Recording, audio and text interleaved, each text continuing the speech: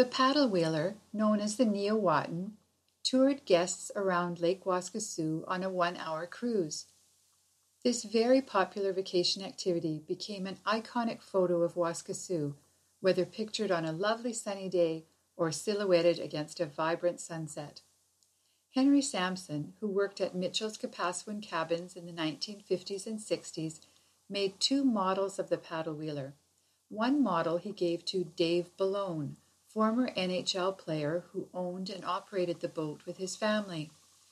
When Henry died, his son Norman donated a model to the museum.